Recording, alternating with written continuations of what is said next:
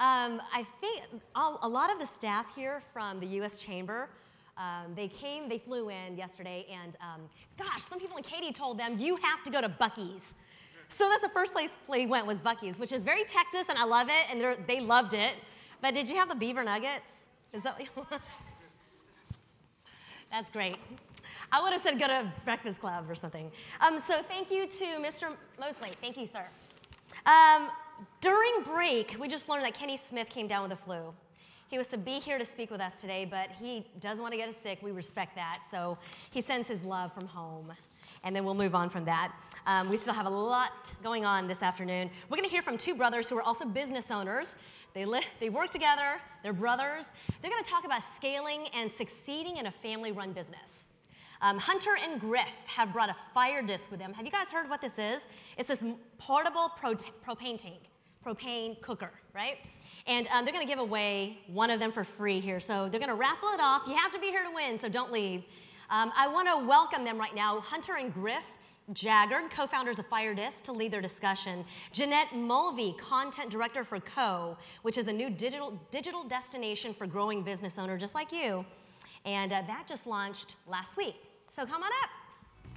Got Hunter Griff Jaggard and Jeanette Mulvey. Uh, thank you. I appreciate it. Hello. Thank you. Jeanette. Well, hello, Houston. Or should I say Alaska? I was not prepared for this. it's not normal. No. This weather. So thank you guys so much for joining me. So I'm Jeanette Mulvey. I'm the editor of a brand new publication from the U.S. Chamber called Co. Co launched last week, and um, Co's goal is to reach small businesses that want to be growing businesses, which is all of you, I'm sure. Um, so I hope you'll check it out. Um, you can see it on the iPad there, you can see it from your mobile devices, but don't do that right now. So I'm excited to meet you guys finally. Um, I'm going to have you tell me a little bit about the fire disc and what it is. I know I already found out in our pre-interview the very most important thing, which is that you can cook bacon on it. So I know that. Um, you were going to do that. You were going to tell me a little about. Yes, yes. So tell me, what is the fire disc? What made you think the world needed one?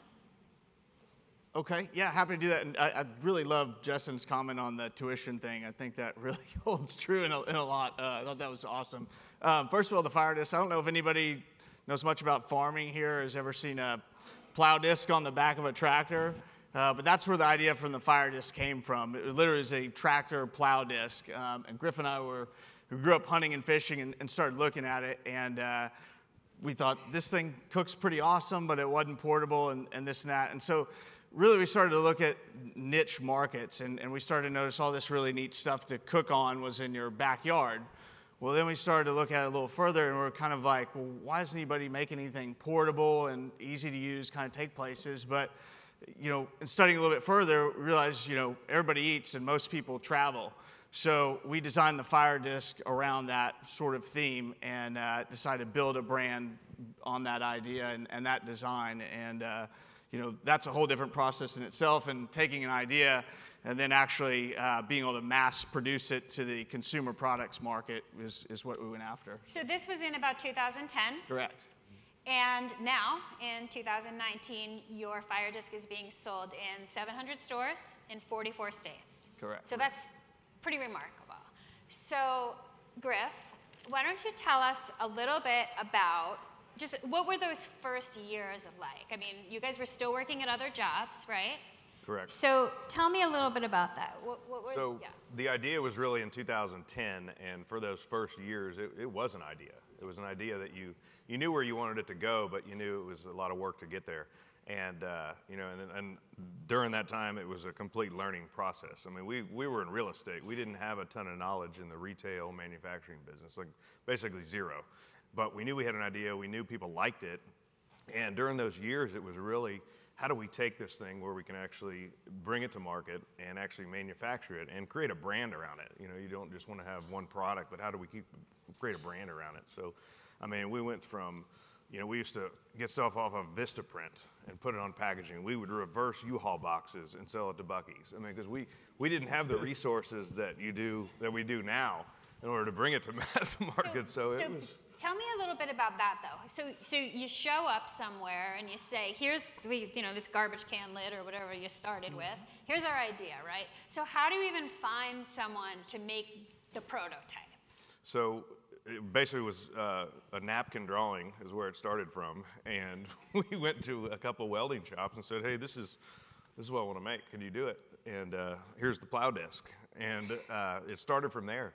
And there were different, definitely different uh, prototypes that we went through, and different manufacturing shops that we found. So once you had a prototype and you took it to market, what did that what did taking it to market look like? So how did you first because obviously you weren't at Buc-ee's on day 1, right? So w- what did you do first to take this first iteration of the product to market and see if people even liked it? We went to uh, one of the buyers at Buc-ee's and we put it on our website and really just looked for feedback. And uh, they liked it. They said, This is really cool. Uh, we need 30 of them, and we had none. so we found a manufacturing shop and said, I need these in 45 days. Right. And they did it in 90. Wow. And we convinced them. and we, we delivered to Buc-ee's, and uh, we got it done after a couple of apology tours.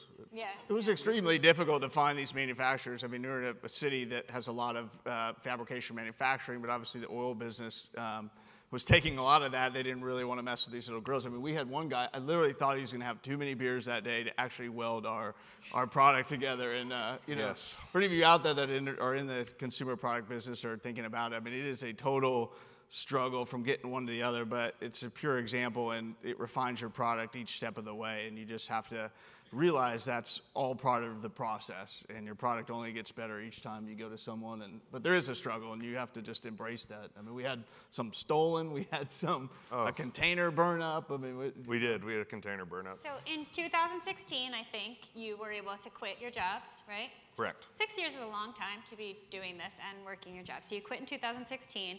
Um, as Zawadi said before, you know, scaling means something different to every company. So clearly you've scaled.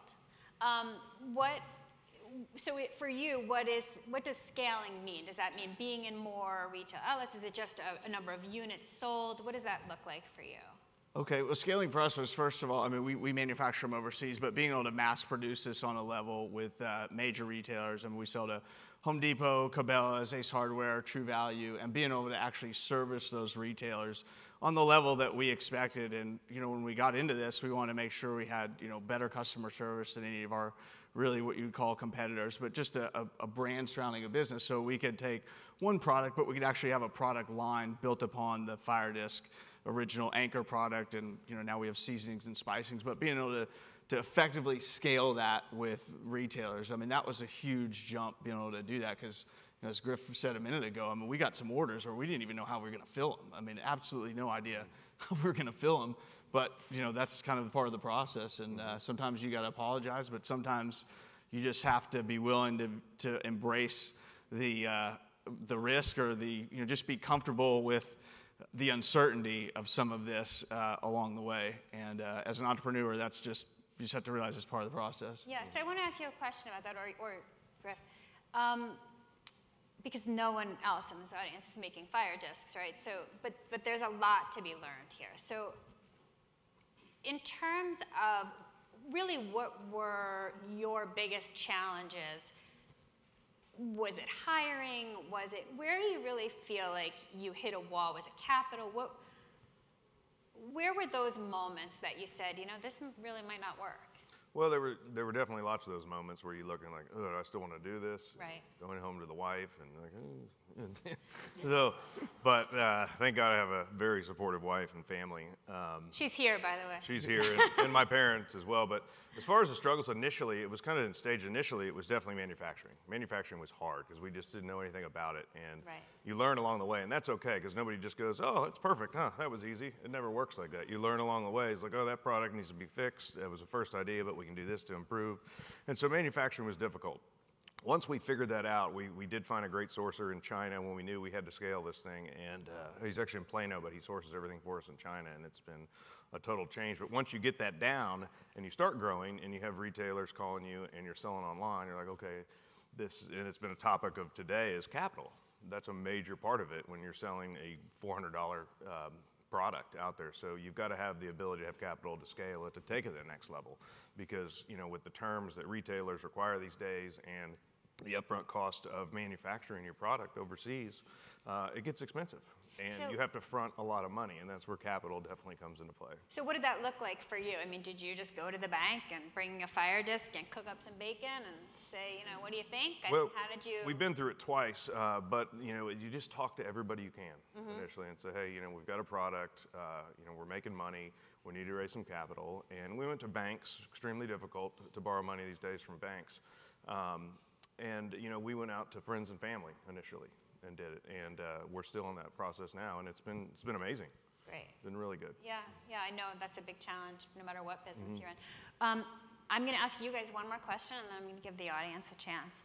Um, a big part of your story is about giving back. And as you know, I decided not to start this conversation with, with that because I think your business is so exciting and interesting without that component. But when you fold that component in, it really completes your story. So, you know, can you just give me an idea? I know you you give back a number of ways, and, and one example is that you raise a lot of money for MS um, research, and um, just tell me a little bit about that, about why giving back is so important to you. Guys. Yeah, it's, it- it's very important. So we had a nonprofit organization. Uh, Griff has multiple sclerosis that we built, raised over a million dollars, gave every dollar back, and we just decided if we're ever going to get in business, that's just something that we do. So it's part of our culture now. Is if you work for Firedisc, we're going to find a way to give back every year.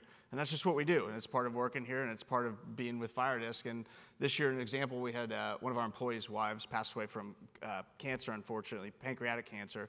So we just came out with a line of spices and seasoning, six of them. Well, one of them is dedicated specifically to her and her recipe.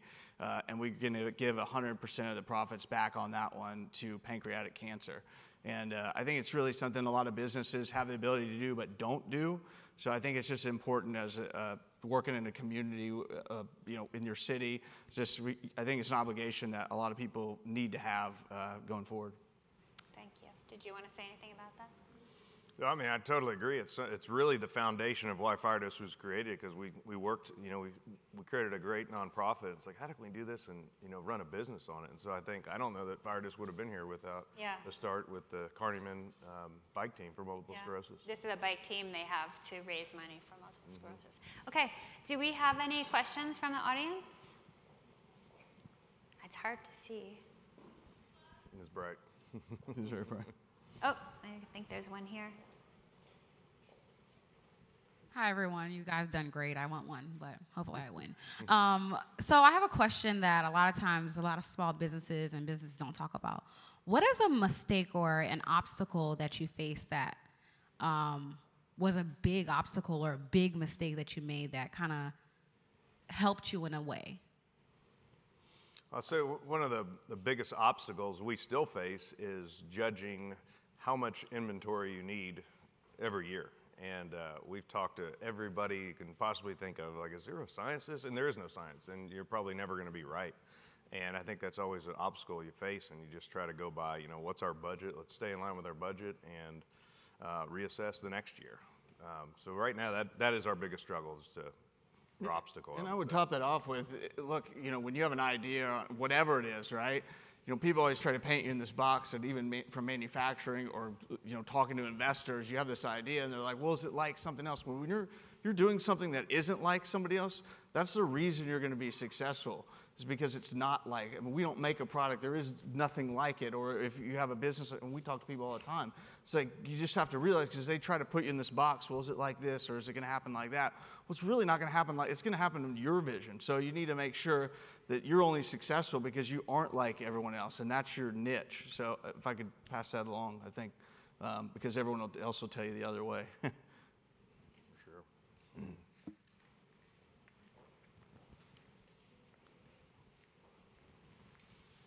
Thank you, Laverne Henry, Beatitudes. I know you mentioned, of course, it's, you know, it, a lot of your startup would have been through the manufacturing experience. Uh, but what about patents? I, I, I think that many people, especially inventors, believe that that whole patenting process is a nightmare. And, you know, in addition to the concept that the process also is very costly and eats up a lot of your startup capital, could you, you know, share a little bit about that? Yeah, I I would say get going first and worry about the patent stuff and, and things. You know, obviously you want to protect your intellectual property, but if you wait on that process, you'll never get started, uh, in my opinion. You can go back and protect. I mean, anybody can go take a product and copy it, but it's most important to protect sort of your brand and your vision. But you got to do both. uh, And the, and the reason behind that, it takes three to five years to even get a patent approved. So if you wait three to five years, you know, your idea gets stale. So I would say get up and go and file for it. Um, it's not extremely expensive to file for it, but once you get into the utility uh, patents, and uh, it, it does get pricey. a lot if of- you go overseas, it gets even more pricey. a lot of people have great ideas, but most people can't execute on them. So I think it's uh, you know more important to get going and then worry about that stuff later because most times you don't have the money to do both. Yeah. I think we have time for just one more question. I see someone here in the. Erica Sanders, real quick, what's one thing or one piece of advice that you wish you would have known in, in 2010? And, and maybe that'll be two, since there are two different, two of you. Maybe there'll be two things that you wish you would have known or done differently. Uh, how hard it is to start a business. it was tough. Um, that's that. It's. I mean, it is tough to start a business uh, for sure. But uh, one piece of advice I can give anyone is just do not quit because good things are coming. You can't stop somebody with passion. And 100%, that has been our goal from day one. Just keep going, keep going, because it is going to be tough, but you're going to get through it. I think uh, you know my dad always said uh, get out of your comfort zone is very important. Um, you know, someone up here said it earlier. It's usually double the time and double the money. And they're right. Uh, and, and number number three, uh, I think would be don't listen to the naysayers. Uh, get out there and do it. I think that's a great place to end it. I want to thank you guys so much. Um, we have an article on Co about you guys, so please come to Co and check it out. It's um, uschamber.com, or actually, you can go to Grow with Co. That's the easier way to get there. Thank you very much. Thank you. Thank you.